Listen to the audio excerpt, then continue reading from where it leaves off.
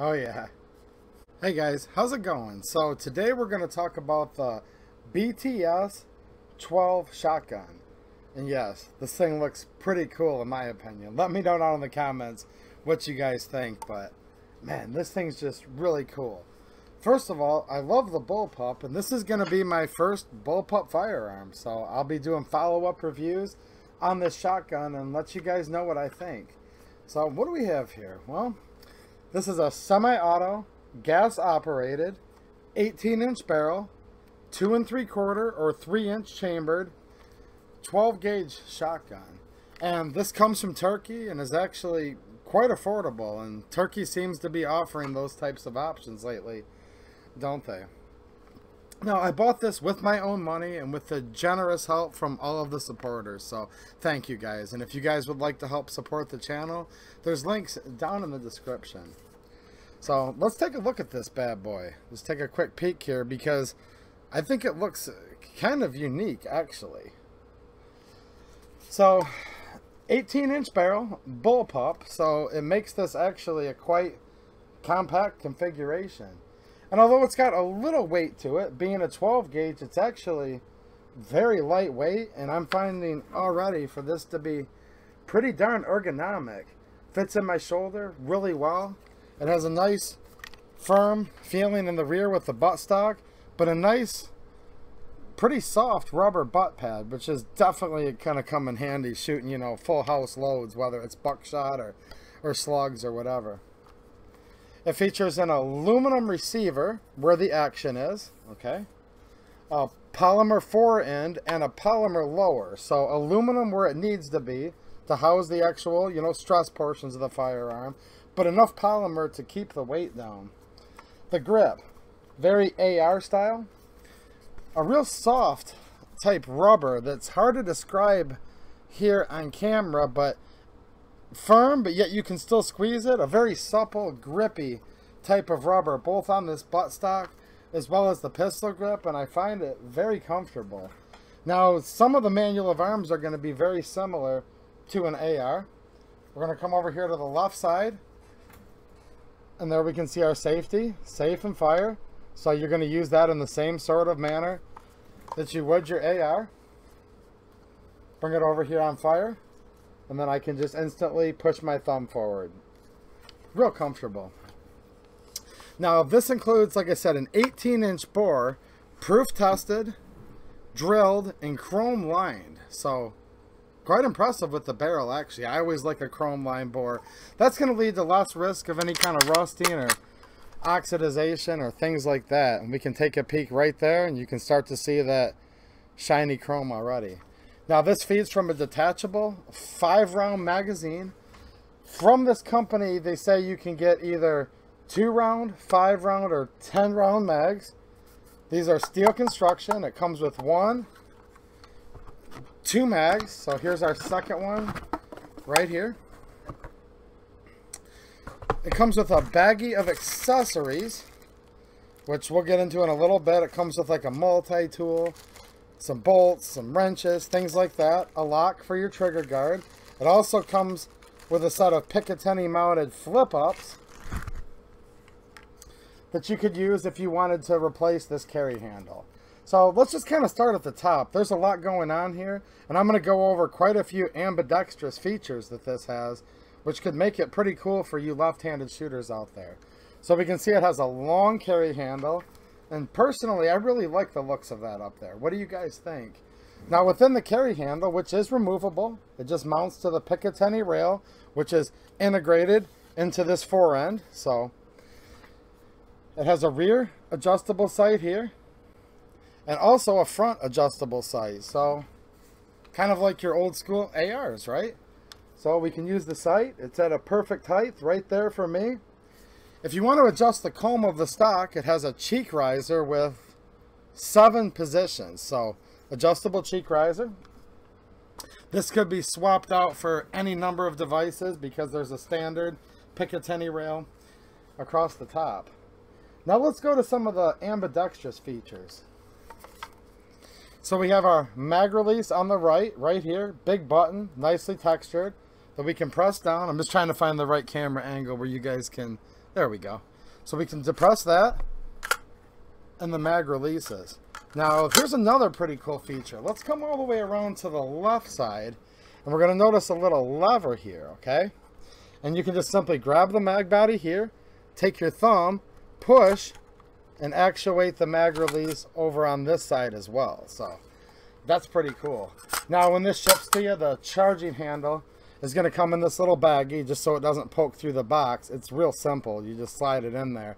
So I have it set to left side charging right now, but this can be removed and swapped over to this side for right side charging as well.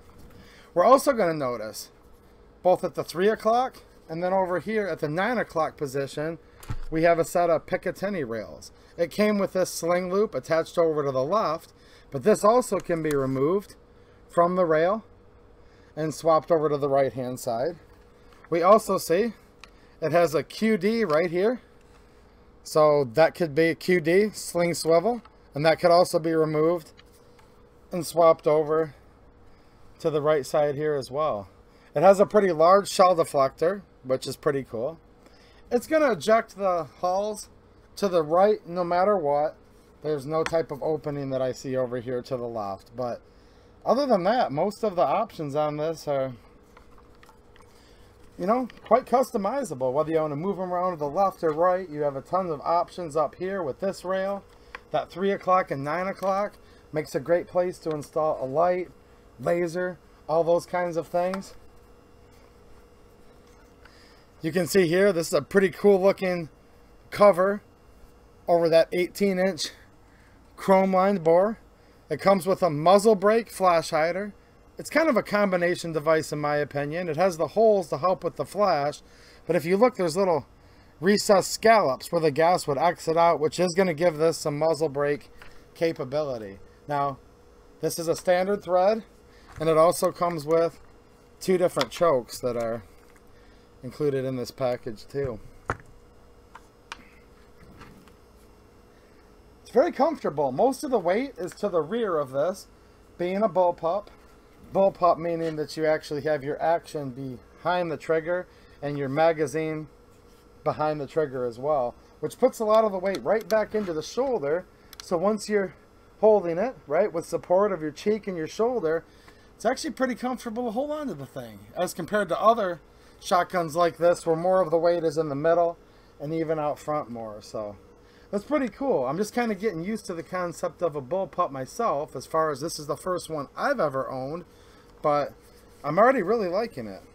Let's go ahead and get this mag out of here. I really like this left side release where you can just hold on to the mag, push that lever, pull the mag right out of there.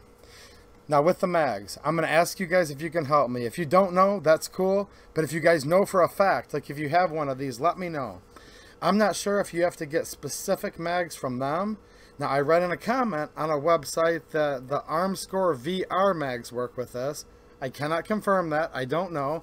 And I'm also wondering if the regular 1919 pattern, which is what you're going to find many of these semi-auto Turkish shotguns use, if those will work. Now, I do have a 1919 pattern shotgun at home, the magazine pattern. You guys probably know what I'm talking about if you're into these. So I have a couple of those that I can try, but I'm just not sure. So I'll show you guys as much as I can close-ups on this mag. Like I said, I'm not going to be the guy that says the Armscor mags work or the 1919 mags work. Maybe they're mags that are specific to this actual BTS 12. Let's see on the rear there of the spine. Okay, there's that. So yeah, let me know down in the comments. But it does come with the five round mags. And look, this is a very affordable price right now. I'm going to do a bonus video on this on locals because there's certain things we do over there that we can't do here. So if you guys want more information on where I got this and stuff like that, you'll definitely want to check out this post because I think it's a really good deal. The action on it feels very smooth. Rotate this over so you guys can see. Nice big recoil spring in there. Yeah. So we can see BTS 12. This is made by the, I'm going to probably mispronounce it, Hatsan, Hatsan Arms Company, imported out of Turkey. Really comfortable.